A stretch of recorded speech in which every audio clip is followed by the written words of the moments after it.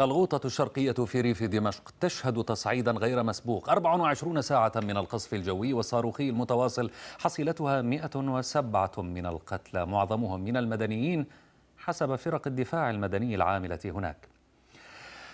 وكالة سانا الرسمية للأنباء كانت قد نشرت على صفحتها أن وحدات الجيش ترد على مصادر قذائف الأحياء السكنية في محيط المنطقة منطقة العباسيين. عرضت هذه الصورة لقذيفة سقطت في هذه المنطقة على صفحتها الرئيسية تقول إنها منطقة سكنية طبعا.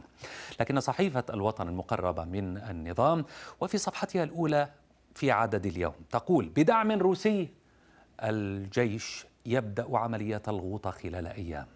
إذا هل القصف الجوي هو تمهيد فعلي لدخول الجيش للغوطة؟ وهل آه سيناريو حلب هو ما ينتظر هذه المنطقة؟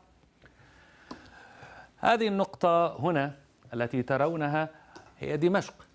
في الشرق من دمشق توجد نقطة أخرى وواضح أنها هي الغوطة وهي محاصرة من جميع الجهات منذ 2013 يسكنها 400 ألف إنسان من المفترض أنها ضمن مناطق خفض التصعيد حسب أستانا لكن هذا لم يحصل.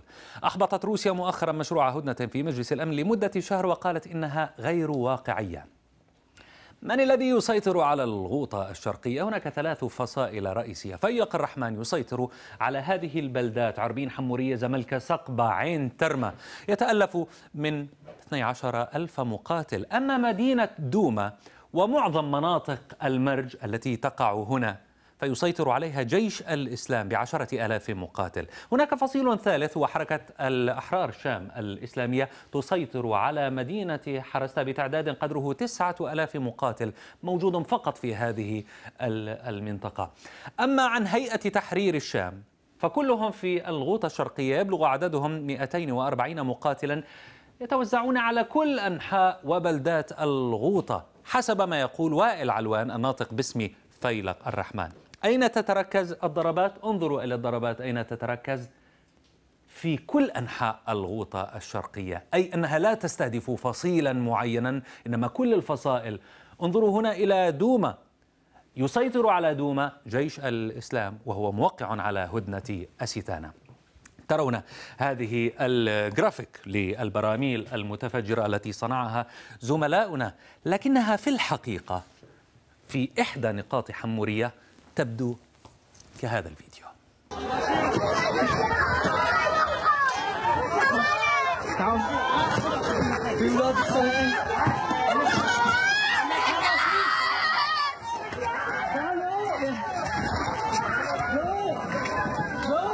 في حدا فيها شيء ساعة؟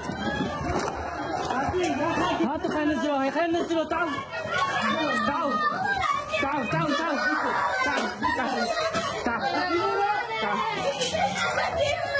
حننزل سوا حننزل سوا حننزل إيه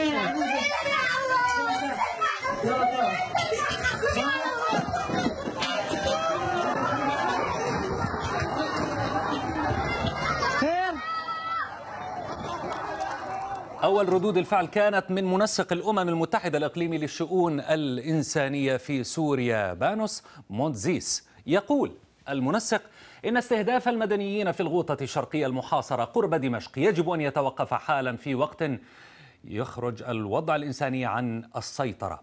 لكن على ما يبدو أن روسيا لها رأي مختلف صدر عن المتحدث باسم قاعدة حميميم ألكسندر إيفانوف. يقول في تصريح وبيان له من الواضح أن الحديث عن الوصول إلى اتفاقيات حول وقف القتال في الغوطة الشرقية أمر مستبعد في ظل وجود تنظيم جبهة النصرة الإرهابية. وأيضا التي تمارس حرب الجبناء بقصفها للمدنيين في العاصمة دمشق عند خسارتها في المعارك البرية مع القوات الحكومية. نعتقد أن الجميع يتفق على حتمية القضاء على هؤلاء المتطرفين. أخبار الغوطة كانت على رأس اهتمام مستخدمي مواقع التواصل. الناشط الإعلامي في الغوطة الشرقية علاء الأحمد يغرد صمت دولي مريب من المنظمات التي تدعي الإنسانية ومن الدول التي اعتبرت نفسها صديقة للشعب السوري تجاه المجازر التي تحدث في الغوطة الشرقية من قبل عصابات بشار. تغريدة أخرى من كبير المفوضين السابق في جنيف محمد صبرا يقول المجرم الروسي يحرق الغوطة جائزة ترضية لإيران تعويضا على تفاهماته في الشمال مع تركيا. كل دول العالم مسؤولة عما يحدث في الغوطة. مبدأ المسؤولية عن الحماية عام 2005 يلزم جميع الدول بالتدخل فرديا أو جماعيا لمنع ارتكاب جرائم ضد الإنسانية وجرائم حرب.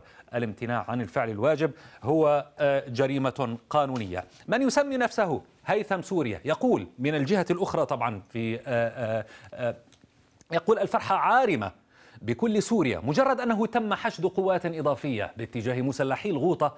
كيف الفرحة راح تكون بعد النصر بإذن الله. أما مراسل قناة العالم في سوريا حسين مرتضى يقول المجموعات المسلحة ستستخدم مادة الكلور والتضحية بالمدنيين واتهام الجيش السوري حيث تسعى من خلال تلك الفبركات للنيل من الدولة السورية كما حدث في عام 2013 في حلب وفي عام 2014 في الغوطة الشرقية وفي عام 2016 في خان شيخون.